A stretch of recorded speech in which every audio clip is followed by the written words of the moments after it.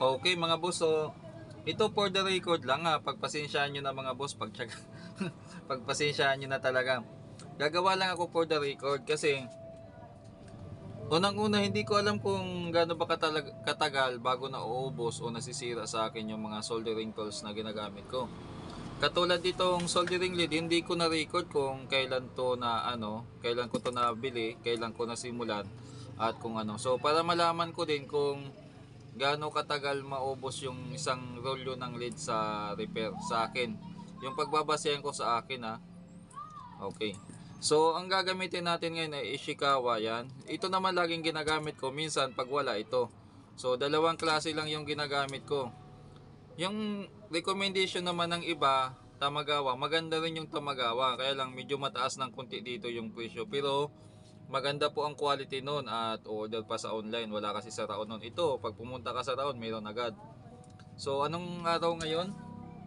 Habang ginagawa natin yung vlog na to, ay March 14. Ilagay ko na lang dyan sa ano, ah 14 ng Marso, March 2023. Pati itong ano, sisimulan din natin gamitin yung wheeler. Tingnan natin kasi yung gamit kong wheeler, at tika lang, ah, yung gamit kong desoldering pump,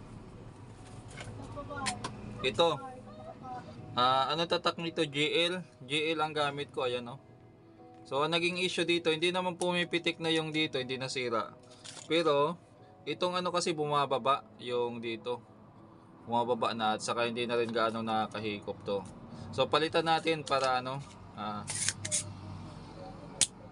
bumibigay, bumibigay kasi ito dito, matras. So, ginawan ko na lang to ng paraan dito, inipitan ko. At tingnan natin. Yan. Yan, oh, inipit ko na lang yan oh, para ano. Yan, umatas kasi yan. So may problema na tong GL na to. Pero ito laging ginagamit ko. Siguro ano, yung sa akin ha, yung average na lifespan nito sa akin dalawang buwan siguro kung i-average ko. Yan. Na hindi siya magkakaproblema. So tingnan natin tong wheeler. Yung wheeler na ano, so meron naman itong kulay black kulay blue saka ano ba ito ah cream cream color o dirty white o ano ba tawag cream ata to eh so itong gagamitin natin okay naman siya tiningnan ko yung ano kasi hindi ko ang bala ko sana goat hindi ko naman kaya yung goat mga boss parang ano eh 1 to 1 to ang isa na so wheeler mukhang maganda naman yung pakagawa sa kanya Saka maganda, maganda naman siya humigop. Ayan oh.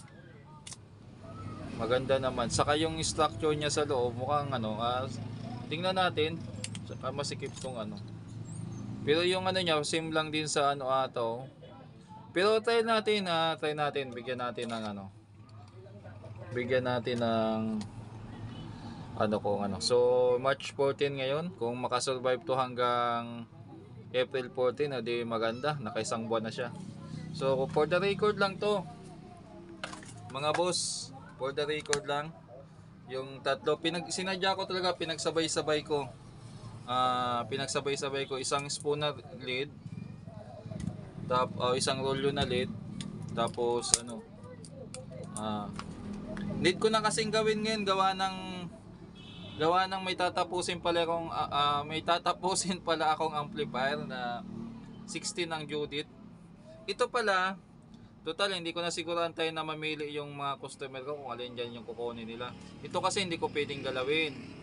May positive feedback nito na maganda daw, tumatagal 3 years, yun ang sabi. Ito namang kuwa, hindi ko alam. Ito naman according kay GPT PH na ano ginawa natin ng reaction yung ano yung sa component niya. Napansin natin doon na gut nga confirm nga gut ang gamit niya. Ang sabi naman niya tumigil daw siya paggamit ng gut kasi mabilis na daw ngayon mapundi yung filament ng gut. So ayos wala na tayong choice kung di itong 40 watts na lang ang subukan natin So sa paghinang kasi madali lang niya ipakita na okay, huminang, kumapit. Ang tanong diyan tatagal ba? Kumusta yung tip? So ito naman eh guarantee ko na to na okay naman to gamitin. At Filament lang at saka tip madali naman palitan yan. So, minsan, ito naman sa Shii, may time nito na matibay din ng ano. So, tsambahan to mga boss. May time nito na maganda talaga. May time naman na ilang araw mo pa lang ginagamit, mabibigay na yung filament. So, pag nakatsamba ka ng ganun, ang malas mo. Parang ganun. Pero ang ginagawa ko dyan, pinapalitan ko na yung tip. Ito na lang ang subukan natin yung ano tatak nito? Ah, Hisatomi. Yan, yung Hisatomi na lang ang subukan natin. Ayan naman oh, may ano naman siya diyan eh. Ano bang sabi dito? Sabi niya, heating, ano yun, ang kulit. Heating, heating efficiency is twice as much as old models. Yan, so pinapakita niya, ito yung mga old model siguro. Ganito yung old model, ito yung bago niya. So hindi ko na maintindihan kung ano sinasabi nito. Ni Hongo kasi. Yan, tapos anong ano, model model ata to. May model, ayan oh. 70, ano bang ibig sabihin? 17 watts, 30 watts, 20 watts, 40 watts. So, by ano kasi yan eh, yan oh. Nakalagay dito kasi, ano eh, kasi sa ating continuous yan. Gawa na kung maraming gawa. Hindi pwedeng ano dyan, ayan oh. So, sabi dito, suitable for continuous work. Pasensya na, nanginginig ata yung kamay ko, yung camera ko. Ah, yan, handle. The handle remain cool. Ano ba yung wrong pronunciation pa ata ko. O, ibig sabihin, hindi umiinit yung hawakan. Dapat lang, aba, ta- aba dapat lang talaga hindi iinit yung hawakan. Paano yan? Pag ano, pag, umi, pag tawag dito, pag uminit yung hawakan, patay tayo dyan. So sabi dito, ceramic heater, one- 1000 degrees Celsius yung ano niya. Samantala yung sa Mika heater, nasa 60 degrees Celsius lang. So mas maganda daw siya gamiton, ah gamitin. Ano ba yan? Pabisaya pa tayo. So ito yung mga ano niya, ewan ko kung ano nang ibig sabihin niyan diyan, ha? bahala na sila oh, yan. Nagturo pa ng proper paghinang, ayan oh. So ito ang susubukan natin. At mukhang pinanggigilan ko to no. Hindi kasi ah, ano eh. Sabi naman kasi ni GPT PH eh hindi daw ano eh. Mabilis daw mapundi yung ano eh. Yung filament niyan. Kaya tumigil siya. Ngayon ata ang ginagamit niya, Broadway ata o ano. Hindi ko lang alam si. Tingnan natin sa mga latest vlog niya. Saka ano pala, congrats. Congrats GPT PH sa bago mong cellphone at saka sa bago mong tester. So, iba na. Iba na. GPT PH lang ang malakas. So, subukan natin to. Sana hindi sumabog. Ah, i- i-plug ko na muna mga boss. Yan. Tingnan natin kung ano. Maganda siya tumunaw. Kasi po, since 40 watts to, para hindi naman siya uminit ng uminit, ah, papadaanin ko siya mga boss ng test valve. Painitin ko lang ngayon ng saglit. Then susubukan ko ng ano, padaanan ng test valve din. Uh, ititesting ko na siya sa ano. So for the meantime, tingnan natin kung anong mangyari dito. Kung maganda tong ano nyo. Uy, tagal naman uminit. Umuusok na ba? Ayan. Tingnan natin. Ah, umuusok na. Sisimula nang umusok. Sa mga panghinang, normal lang minsan yung umuusok mga boss ha. Yan, ito siya, umiinit siya. Nangangamoy na. Kasi ano to eh, bagong ano, bagong init talagang ganon. Medyo matagal siya mag-init. Pero ang cute ng handle niya oh. Malaki nga lang dito eh. Tingnan natin. Tingnan natin. Ang tagal naman. Logi tayo. Pag ito hindi maganda gamitin, kawawa yung 300 ko dito. kawawa. 300 pambili tapos hindi ano eh. Sasabihin, tagal-tagal mo ng technician na scam ka pa. Panghinang lang eh. Ganun talaga mga boss yung ano. Ganun talaga.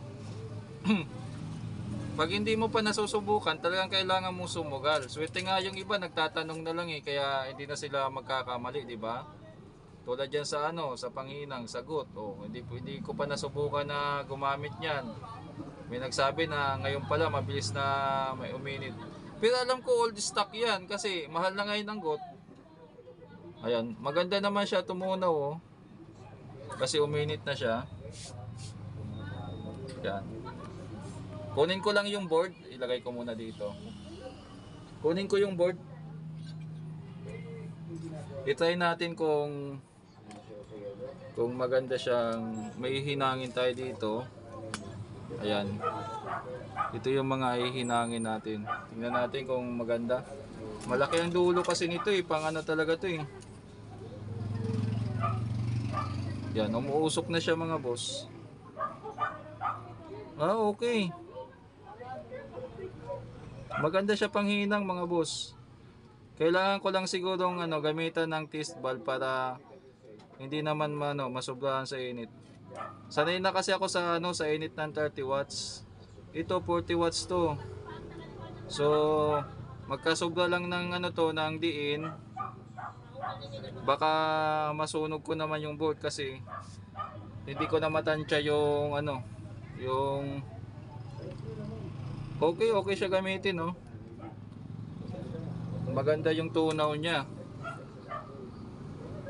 Maganda siya tumunaw ng lead. Ang question na lang dito ay kung tatagal ba siya. Ayan. Medyo ano lang, malakas lang siya kumain ng lead kasi malaki yung ano niya eh. Pero so far okay naman siya. Talagang makapal yung dulo niya mga boss. Pero so far okay siya. Tingnan natin dito sa ano.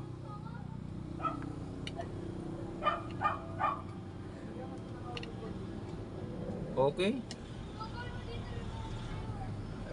O bumibilo lang. Parang hindi niya gaanong kayang tunawin yung ano.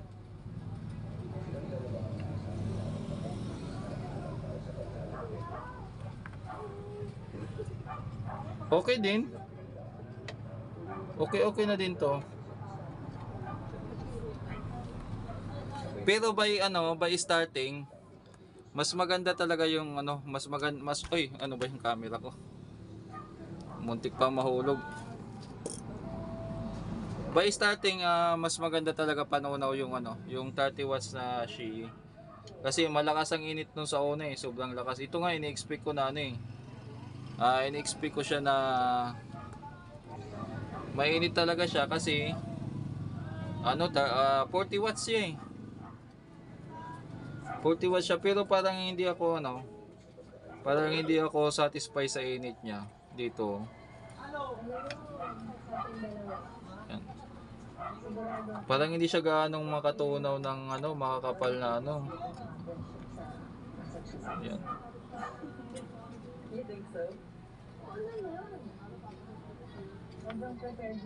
So malalaman natin yan sa katagalan mga boss. So paano yan? Mahaba na ata tong video natin at ano lang to for the record. Pag iyon